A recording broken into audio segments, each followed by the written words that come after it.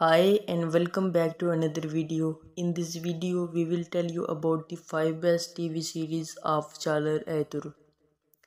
Çağlar Ertuğrul is a Turkish actor and mechanical engineer. He won the Golden Butterfly Award for Best Actor in a Romantic Comedy in 2020 for his role in Afili Aşk and Best Actor in a TV Series in 2021 for his role in Teşkilat. He is regarded as one of the best Turkish actors in Turkish dramas. Here is the list of 5 best TV series of Çağlar Ertuğrul. Number 1 Magasız This historical drama series tells the story of the Korak family, a citrus fruit trading dynasty in the town of Saybahçe during the early Ottoman Empire. Ertuğrul stars as Turgut, a young and ambitious member of the Korak family who is determined to expand the family business and protect it from foreign powers.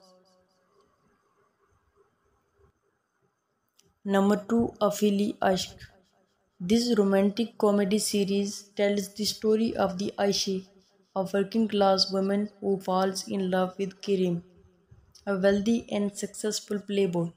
Ertuğrul stars as Kerim, a charming and charismatic man who is initially reluctant to commit to Ayşe but eventually falls deeply in love with her. Number 3 Mrs. Fazilat and her daughters. This family drama series tells the story of Fazilat, a single mother who is determined to improve her and her daughter's social status by marrying them off to wealthy men.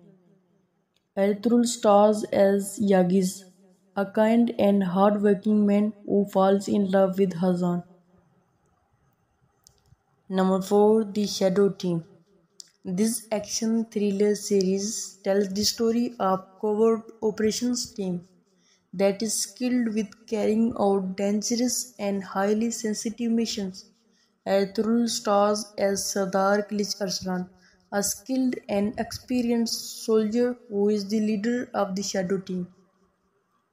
Number 5 Don't Worry About Me. The story begins when Sinan goes to the boat with his father and his wealthy friend Shahin and get caught to the storm.